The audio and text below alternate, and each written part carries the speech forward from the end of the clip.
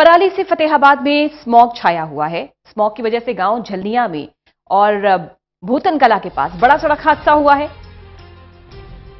दोनों हादसों में दो लोगों की जान गई है। पहला गाँव झलनिया के पास हादसा हुआ, जहाँ ट्रक, ट्रैक्टर और कंटेनर आपस में टकरा गए। ट्रक चालक की मौके पर ही मौत हो गई। दूसरा हादसा भूतन कला में हुआ, जहाँ रोडवेज़ बस और बाइक सवार की टक्कर हुई। एक व्यक्ति की मौत हुई।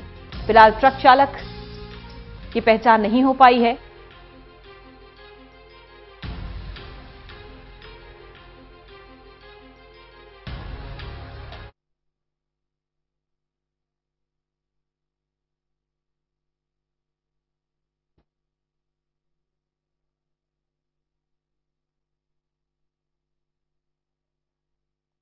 रमेश भट्ट हमारे सहयोगी फ़ोन लाइन पर जुड़ गए हैं। ज़्यादा जानकारी के साथ रमेश, पराली कुछ जिंदगियों पर आतंक बनकर छा गई।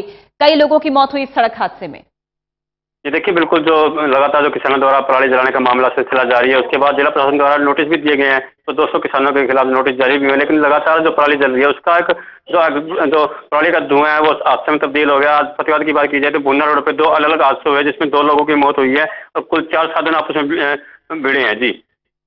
हम्म जिस तरह से अब अब चूँकि सर्दियों की शुरुआत भी हो चुकी है धुंध भी होती है कई जगह, स्मॉग होती है धुएँ धूल के कारण, पराली जलाने के कारण इस तरह का स्मॉग छाया हुआ ऐसे में ये ज़रूरी है रमेश कि जो भी अपना वाहन ले जाए, बहुत सावधानी के साथ, सजगता के साथ उस वाहन को चलाए।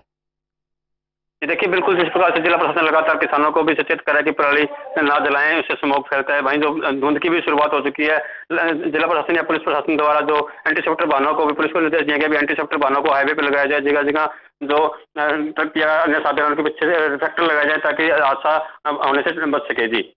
शुक्रिया इस खबर पर जानकारी देने के लिए रमेश।